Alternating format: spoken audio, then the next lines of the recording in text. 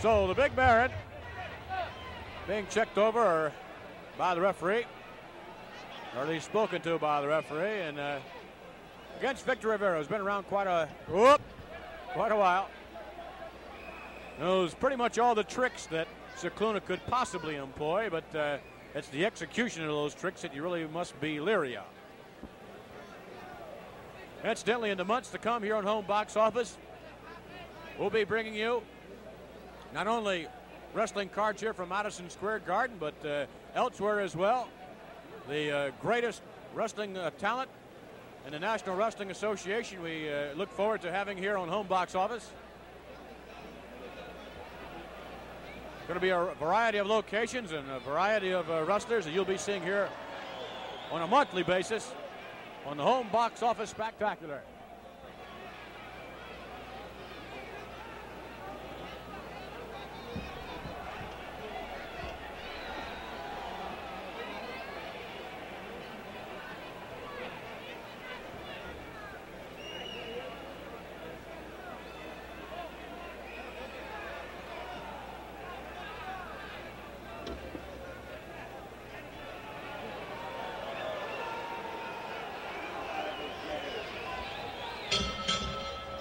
There we go, Scicluna against Victor Rivera.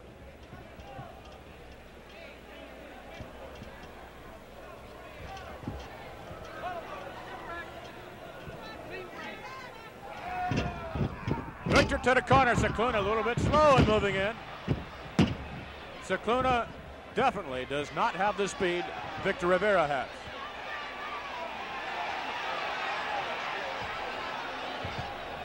They are, however, rather closely matched as far as strength is concerned, despite the size of Baron Mikel Scicluna, who outweighs uh, Rivera by quite a margin.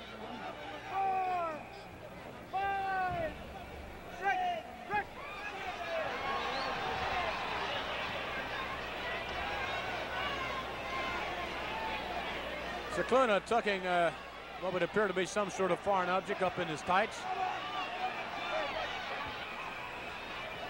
From our vantage point, we can see it rather clearly. Now, after that foreign object has been in the tights of Scicluna and then under that arm, well, the olfactory sense alone will be enough to knock an opponent out.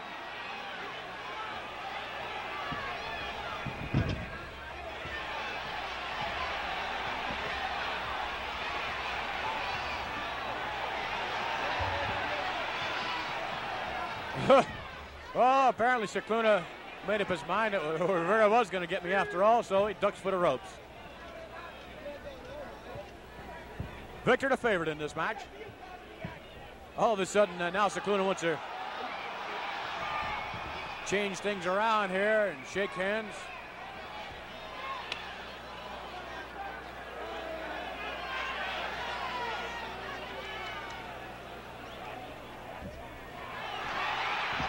Scicluna from our vantage point going down into the tights and using the foreign object against Rivera.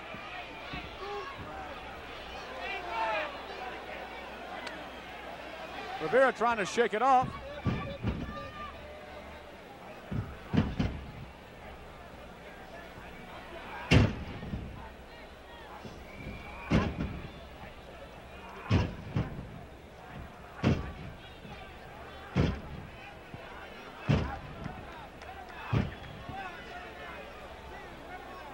Victor having a few problems here against Baron Mikel Scicluna after receiving the blow to what would appear to be his neck. So Rivera may have his breathing impaired a bit at this moment.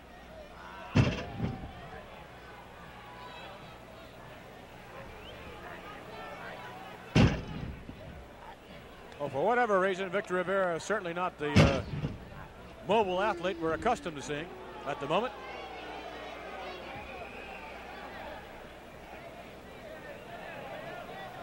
Scicluna is going to mobilize him right now, though, right into the turnbuckle head first.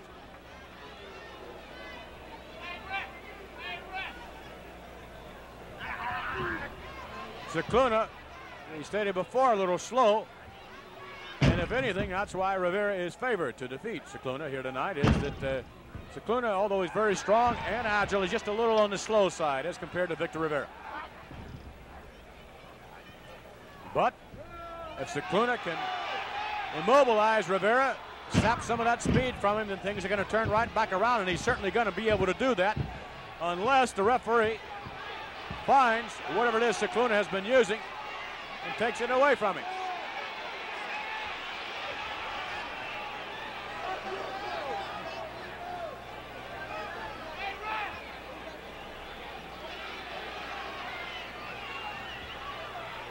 Scicluna making a mistake here in allowing Rivera to uh, kind of clear the cobwebs from his head, if indeed he has had time to do that.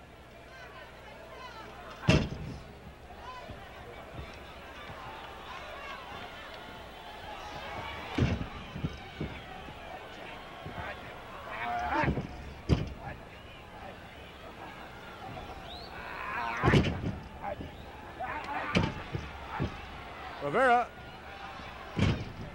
on the brunt of the attack of Baron Mikel Scicluna, and things do not look well for Victor Rivera.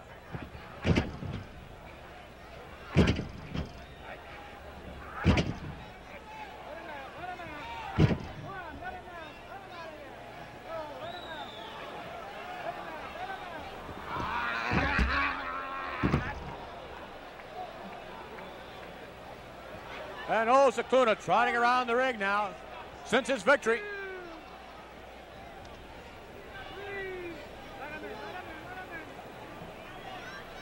Rivera on his feet, perhaps not for long. Oh, yes, sir. Nice maneuver on the part of Victor Rivera, but he must get back into that ring. And what do we have here? Rivera's going to bring that one out of right field.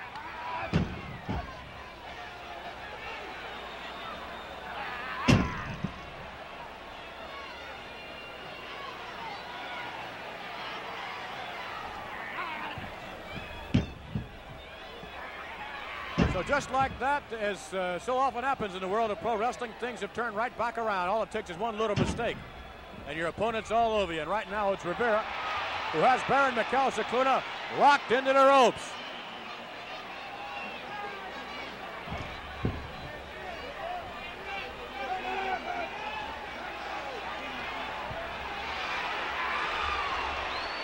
Oh, yes, sir, Rivera has that object. He took it away from Scicluna, and now he's going to use it against him. Cover. One, two. It's over.